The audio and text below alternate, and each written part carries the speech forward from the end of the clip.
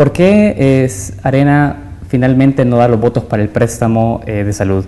Se tuvo la nueva noticia de que el gobierno había incumplido con otros préstamos anteriores que habían sido aprobados por la Asamblea Legislativa y que el gobierno por ley tenía que entregar a las municipalidades de todo el país y hasta la fecha no ha entregado nada. Pero eso no, ustedes no lo previeron antes, es decir, se dieron cuenta justamente el día jueves, antes de la elección de, del, del Bueno, yo honestamente te diría que yo también lo, lo veo como algo que debió preverse uh -huh. y haber actuado antes, no menos de una semana, incluso antes. Cuando se negocia en casa presidencial es porque se agotó, eh, digamos, las instancias en la Asamblea Legislativa. ¿Usted ve que es correcto el hecho de llevar el nivel de la negociación por fuera del Parlamento?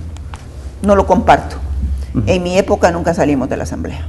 Usted nos decía que no existe hoy por hoy una disputa de liderazgo, pero yo le pregunto entonces cómo se interpreta esas declaraciones del expresidente Calderón Sol solicitándole al expresidente Cristiani que dé un paso al lado y ceda las riendas al candidato.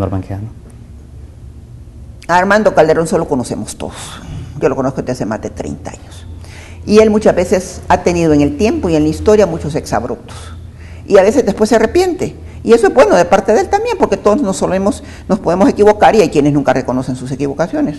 Usted también era parte de, usted tuvo unas pretensiones de ser candidata a la presidencia por el partido. ¿Qué pasó? ¿Qué, qué hubo en, en, ese proceso? ¿Por qué desistió? no, yo no desistí. Lo que pasa que, bueno, mira, hay una cosa que sí te voy a decir sinceramente. A mí me gusta jugar limpio uh -huh. y soy respetuosa de las reglas del juego, toda la vida. Y si tú me ganas jugando limpio, yo te felicito. ¿Verdad? Pero en el partido se dieron una serie de acciones que no fueron las más apropiadas. Uh -huh. Y eso no dependió de Norman Quijano, sino que de gente alrededor de él que también que se excedió en ciertas cosas.